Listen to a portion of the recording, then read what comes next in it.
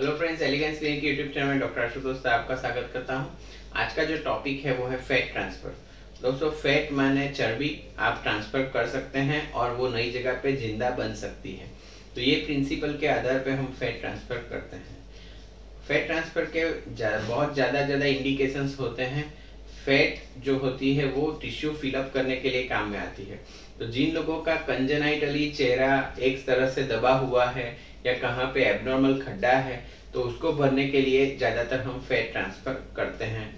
उसके अलावा, अगर आपकी एज कम ज़्यादा है तो उम्र के साथ में आपके शरीर से फैट का जो वॉल्यूम होता है यंग चेहरे में, वो डाउन चला जाता है।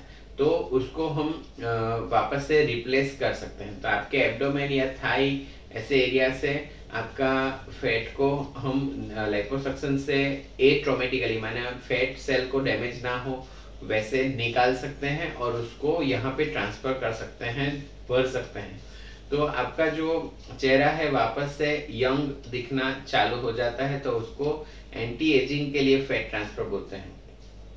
और फैट सेल के अंदर adipose tissue derived stem cell भी होते हैं तो वो आपके टिश्यू रिपेयर में भी मदद करते हैं।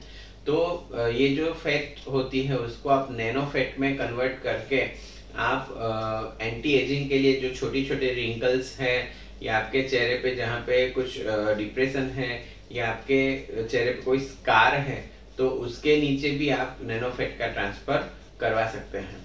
तो दोस्तों फेड ट्रांसफ़र के बारे में जानकारी लेने के लिए हमारे कॉन्टेक्ट डिटेल्स ये वीडियो के एंड में है। उसके ऊपर आप हमें सुबह आठ से लेकर शाम के आठ के बीच कॉन्टेक्ट कर सकते हैं और आपने आपका अमूल्य सोई निकाल के ये वीडियो देखा। इसके लिए आपका धन्यवाद।